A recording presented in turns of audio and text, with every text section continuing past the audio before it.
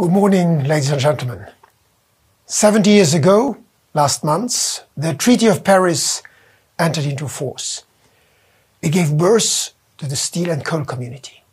And this great idea used the industry of six countries as a tool to unite Europe, to bring peace and prosperity to our continent.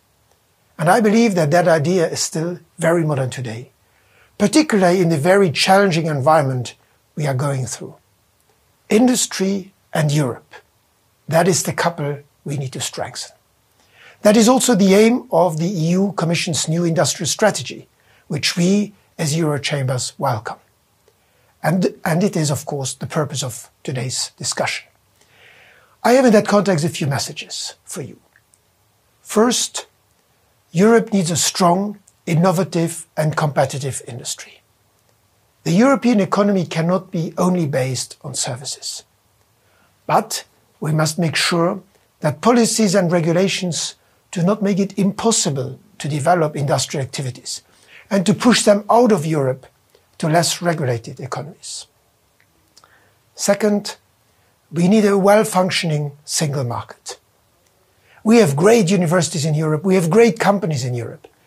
They all need to cooperate cross-border to become stronger, profitable, innovative. That's why we have created Europe. It is a great opportunity for our industries. Third, we need a network of good international trade agreements. Our industries can only grow if they can export our world-class products. I think we are sometimes too demanding, too complicated, too ideological when it comes to such agreements.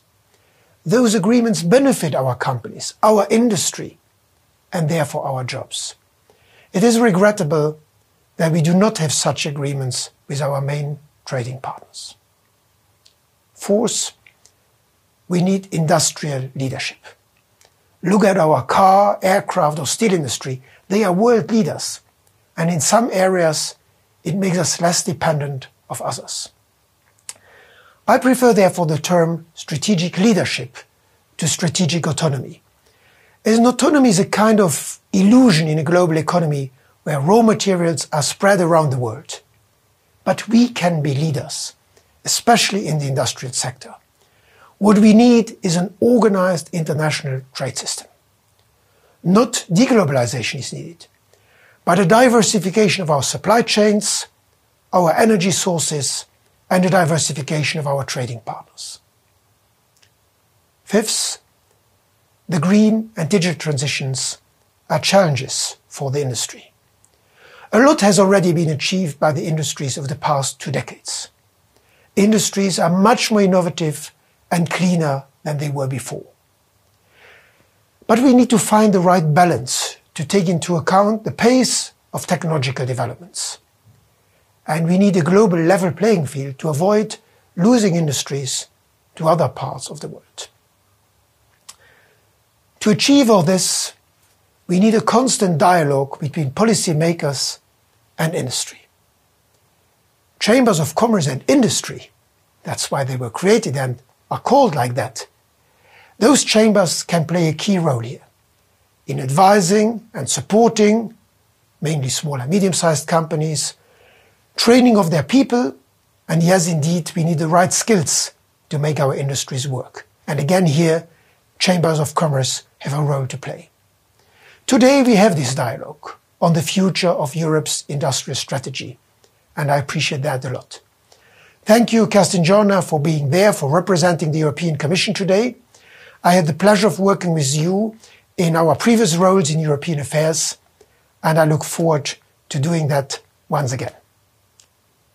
We industries, we as citizens are facing huge challenges. Inflation, supply chain problems, energy shortages, a terrible war in Ukraine. But despite all this, I remain optimistic. Since I started in public life, I was involved in the management of a number of crisis situations.